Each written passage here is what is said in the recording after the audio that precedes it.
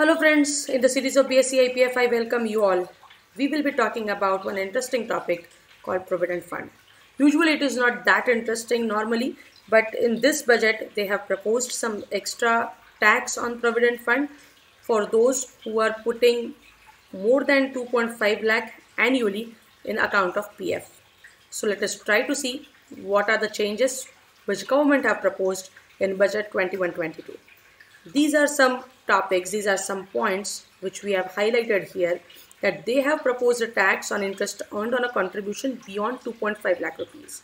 If you are putting more than 2.5 lakh rupees, whatever interest you will get on the amount which is about 2.5 lakh, that tax, that interest amount will be taxable.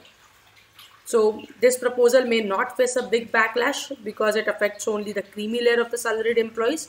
When we say 2.5 lakhs annually divided by 2, it is more than approximately 20,000.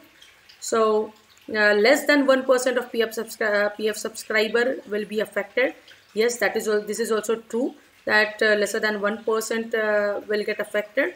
But how this calculation will go on, we will try to see in this video this is a one table this is one table but uh, this is a table at glance let us try to see the mathematics and the maths behind this let us say how much you can invest in PF without attracting tax. Let us try to see it here.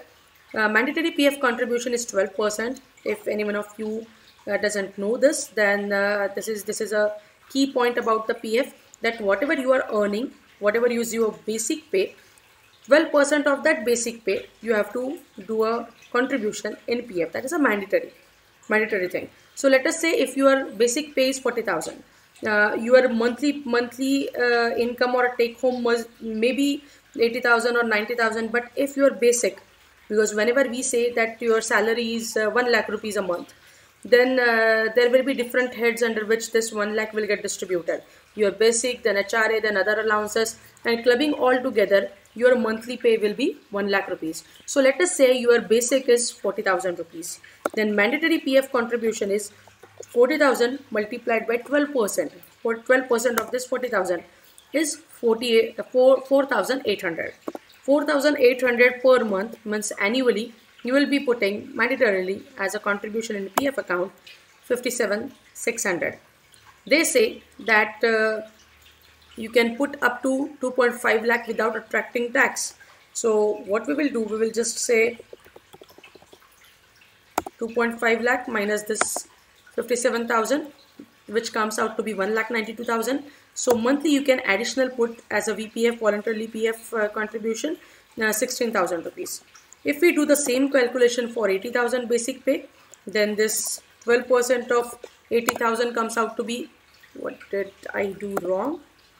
This 80,000 multiplied by 12 percent uh, uh, 9600 monthly contribution will be there in the PF account then monthly we will be putting uh, annually we will be putting 1 lakh 15,000 and 2.5 lakh without attracting tax. Then additional 1.34 lakh rupees that means uh, monthly 11,200 you can put. If we do the same calculation for this up to 1 lakh 60,000 rupees it is coming out to be 2 lakh 30,000 let us do it here quickly. If uh, 2 lakh 50,000 is the cap and if you want to divide it by 12 then this divided by 12 comes out to be 20,833 and this, this 20,833 is your 12 percent. Then how much is the 100% which will this is a basic maths cross multiplication we are doing. Then your basic pay should be monthly 1 lakh 73,000 if your basic pay is 1 lakh 73,000 then you need not to pay additional tax on the interest earned on your contribution. But above that just look at this example of 2 lakh basic pay and 2.4 lakh basic pay. Just look at here and here that if you are putting if your basic pay is 2 lakh rupees then your monthly contribution will be 24,000 annual 2 lakh 88,000 about 2.5 lakh you are putting 38,000 and on this 38,000 you have to pay the tax on this 95,000 you have to pay the tax. So additional you cannot make any contribution as a VPF till 1.73 lakh or lesser than that you are having a little and tiny room for that but above that you cannot.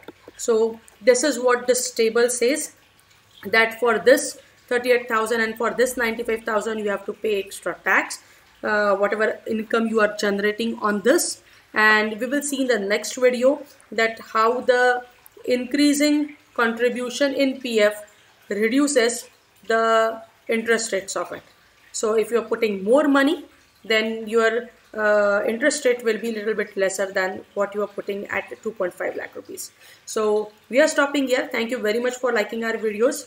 Uh, don't forget to write your name along with your email address in the comment section because that will make us possible to bring such kind of interesting topics for you. All these sessions are coming to you by BSE IPF and SEBI so don't forget to say them thanks also. Thank you very much. Stay tuned.